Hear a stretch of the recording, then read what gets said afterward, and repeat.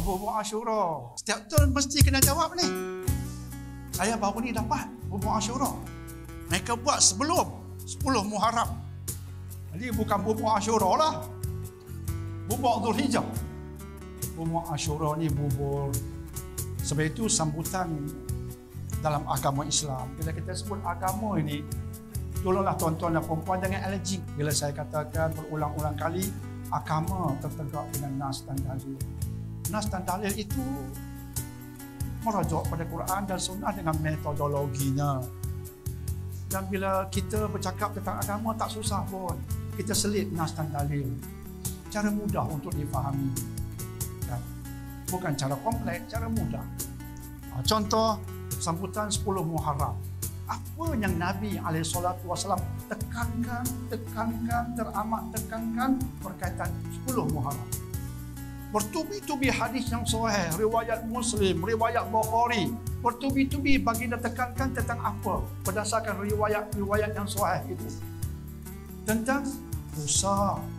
Baginda berhijrah dari Mekah ke Madinah, tiba di Madinah melihat orang-orang Yahudi berpuasa 10 Muharram. Baginda alaihi salatu bertanya, "Mengapa kamu berpuasa?" Sebab Allah telah selamatkan Bani Israel sebelum ini. Maka bersempena dengan Allah selamatkan Bani Israel, Nabi Allah Musa berpuasa.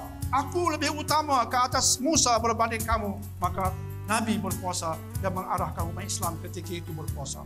Hadis yang berikutnya, orang Quraisy di zaman jahiliah dahulu mereka berpuasa 10 Muharram. Nabi juga turut berpuasa 10 Muharram. Bila Islam datang, Nabi teruskan puasa dan mengarahkan umat Islam berpuasa. Kata Aisyah pula, 10 uh, Muharram Ashura merupakan puasa yang diwajibkan sebelum Ramadan. Bila Ramadan diwajibkan, puasa Ashura jadi sunat. Terpulang pada sesiapa saja yang nak berpuasa, berpuasalah. Yang tidak mau berpuasa, tak usah berpuasa bertubi-tubi cerita tentang 10 Muharram ialah tentang puasa. Tak ada langsung tentang bubur Ashura. Jadi bubur Ashura ini datang dari mana? Oh, rupanya dari cerita Israelia. Bukan hadis Nabi. Jauh sekali Quran. Dari cerita, cerita orang Yahudi yang dipanggil cerita Israelia dari pokok Yahudi maka tidak sahih. Dikaitkan dengan Nabi Nuh. Mereka menaiki bahtera kemudian dicampurkan dengan berbagai lah. Berbagai ramuan. Uh, adalah uh, kacang apa kacang dala kacang parfu lah. Pumpang pumpang pumpang. Maka jadilah dia bubur. Betul ke? Betulkah itu yang Nabi Nuh lakukan? Tak ada riwayat. Cerita Yahudi. Cerita Yahudi boleh pakai ke? Dia panggil Israeliat. Kontroversial sangat sebab Nabi Nuh bukan diutus sebagai tukang masak, sebagai rasul. Kita faham mereka kena makan, makanlah apa yang ada. Tapi di tanah khas begini campurannya. Sehingga kita pula tahu, inilah campurannya. Mana you tahu, makcik? Ni campur ni kena campur banyak ni, kena gula sedikit. Kena... Mana makcik tahu? Nabi Nuh bagi tahu ke? Tak ada. Sebab itu bagi saya minta maaf lah, bukan garang suara tinggi sikit. Bagi saya nak buat bubur Ashura, buat. Dan saya anggap itu sebagai bubur.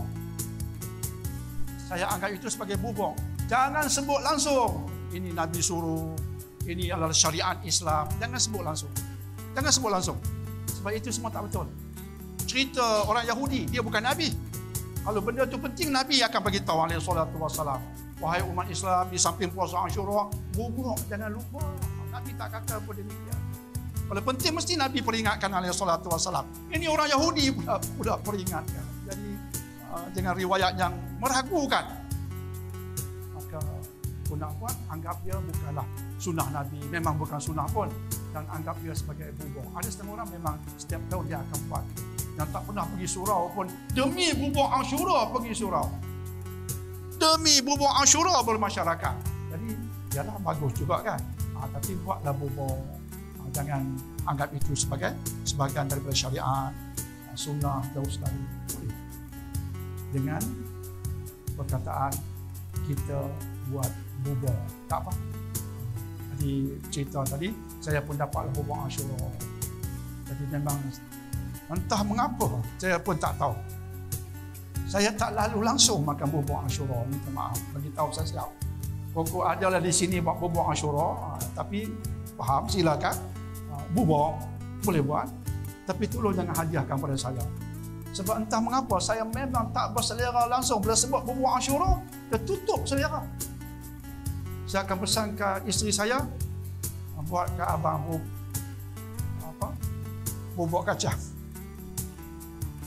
bubur asyura saya tak makan buat bubur kacang insyaAllah bismillah makan memang tak makan langsung tak boleh tak boleh masuk. Bukanlah haram. Saya perut saya tolak terus. Jadi insyaAllah semoga terjawablah soalan tentang bubur asyura yang penting puasa asyura